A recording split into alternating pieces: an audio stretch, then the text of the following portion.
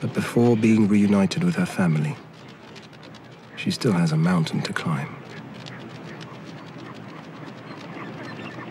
It's a big ask for a bird that can't fly, standing less than half a meter tall. But it's now that rockhoppers live up to their name.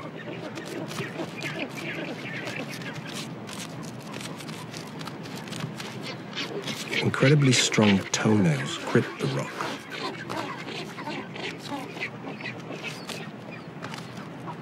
The beak makes a good climbing tool. The more experienced penguins make it look easy, but it's a steep learning curve.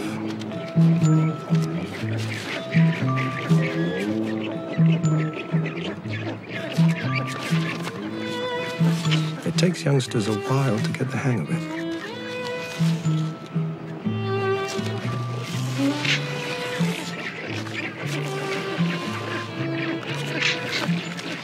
Misjudge it, and it's back to square one.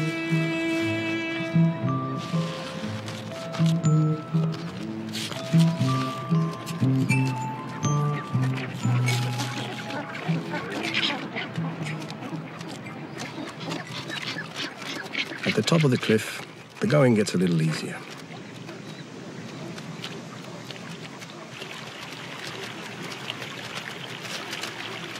She's following the footsteps of generations, forging deep tunnels through the tussock grass.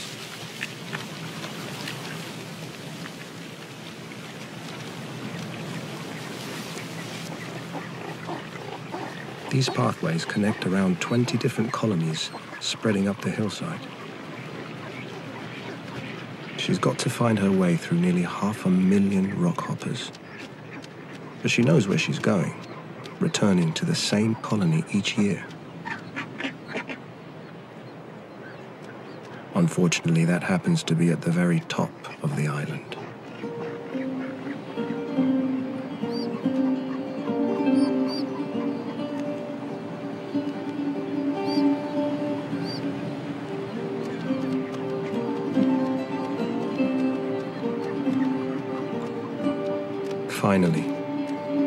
Climb of two kilometers, she's made it.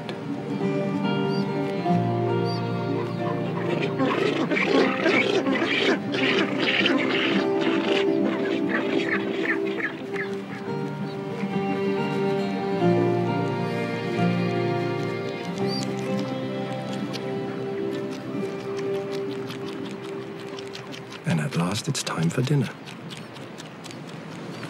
It's a messy business, but the chick's not complaining.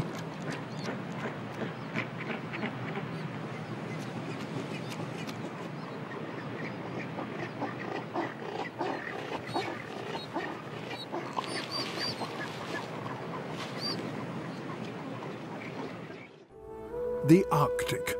Millions of square kilometers of empty ice.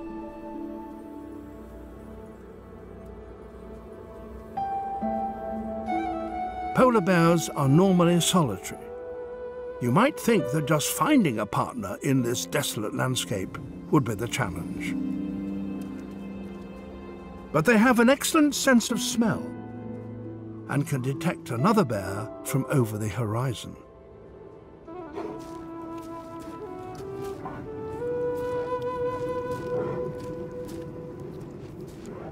Male bears can spend weeks tracking the scent of a female who's ready to mate.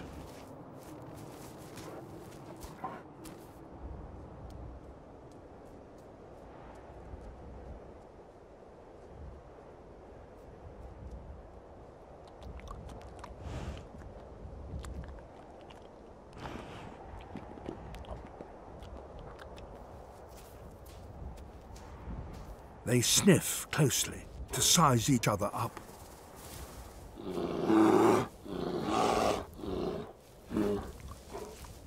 She'll raise her cubs alone, devoting herself to them for two, even three years. It's a huge commitment of time and effort. So it's vital to pick a male who will provide strong and healthy genes for her offspring. It looks as though she's going to put this potential suitor through his paces. She leads him up and down the slopes. It's as if she's testing his fitness.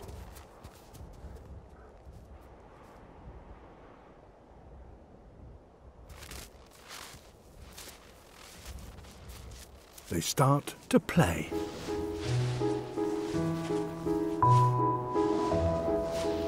Courtship is one of the few times that adult animals play together.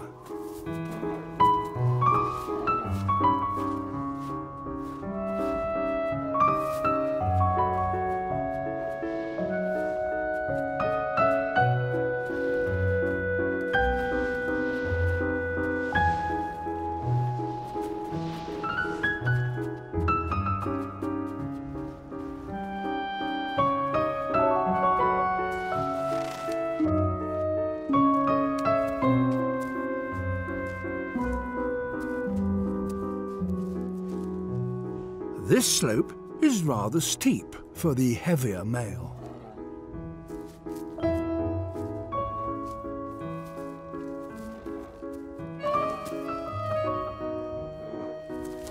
It's no good. He can't quite manage it.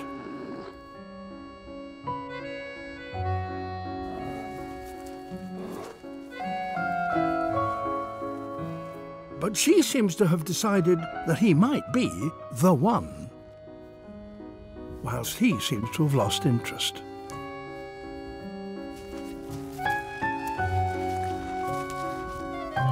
It's her turn to do the chasing. And she's got a few tricks up her sleeve.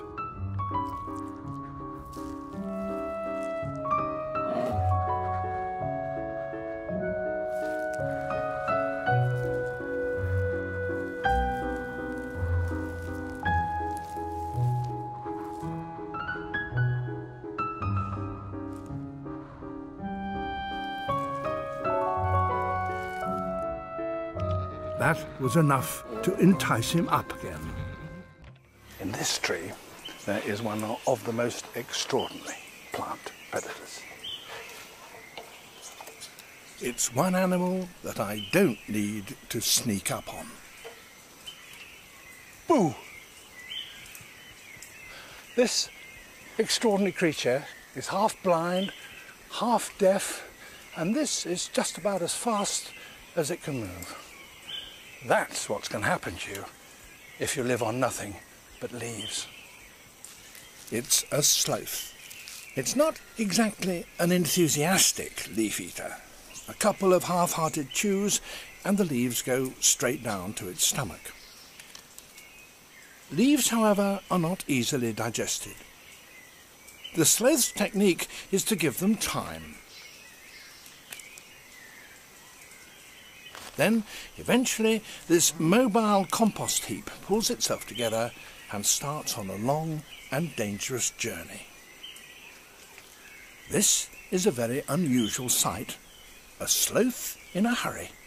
It wants to defecate, and the only place it's happy doing that, oddly enough, is down on the ground. It only does it about once a week.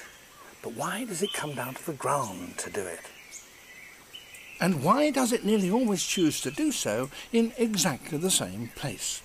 Whatever the reason, it must be very important, for a sloth on the ground is almost helpless. Any predator could attack it, and it doesn't have the speed to escape. Why it comes down in this way is a mystery. Nobody knows. Now he's finished, and back he goes up to the safety of the canopy. Leaves are not very nutritious. The sloth's way of compensating for that is not to eat more, but to do less. Its claws hook over the branches so that the sloth can hang without any effort of its muscles, which have been reduced to thin ribbons. And to save energy, it spends most of its time hanging around half asleep in the treetops. So, with very little muscle, and a reaction time only a quarter as fast as ours, how does a sloth's day compare with our day? In the time it takes me to write a few letters, the sloth just about manages to groom itself. While we have our lunch, the sloth nibbles a few leaves. And then, as we film a sequence for the series, it's time for another nap. Yinghua, a three month old female. Abandoned by her mother after only a few days, she is being hand reared. Pandas have twins 50% of the time, but choose only to keep the strongest. It's nature's survival of the fittest. Yinghua wasn't chosen by her mum, so the nannies go out of their way to spoil her rotten. She has already outgrown her incubator and is piling on the pounds. Puppy fat on a baby panda is good. At 11 pounds, Yinghua is filling out well.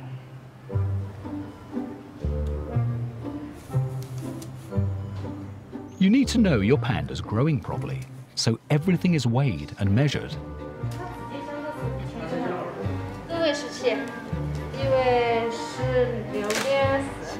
They're robust at this age, and a little bang is all part of the fun.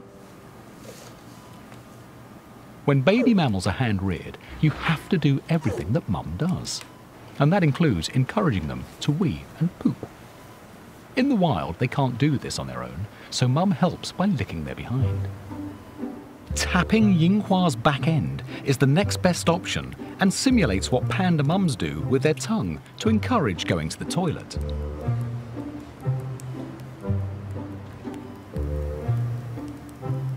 This will need to be done on each panda multiple times a day, pretty much after every feed. So when you count them all up, that's a lot of toilet training. With the herd staying in one place, our spy cams can be everywhere. Even a tree stump spies on the calf's every movement.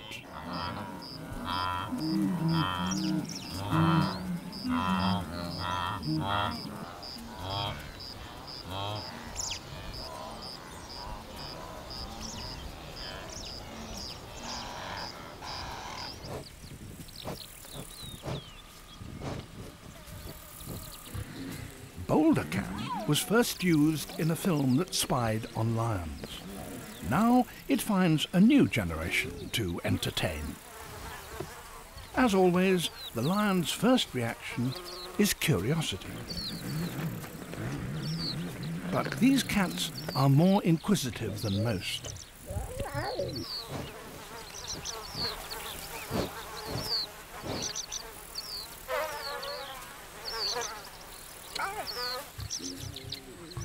One cub has taken to it in a big way.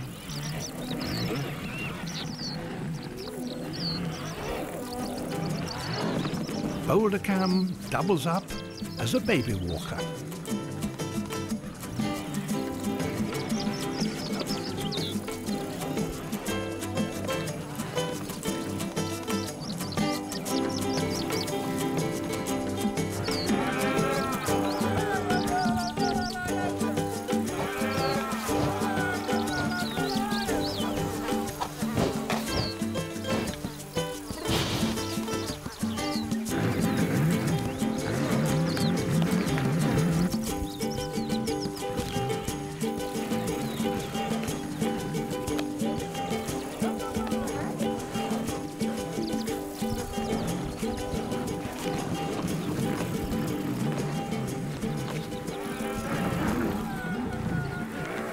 Thank